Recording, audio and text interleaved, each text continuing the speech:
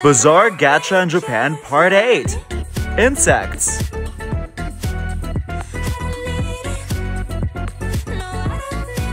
I found a giant bug.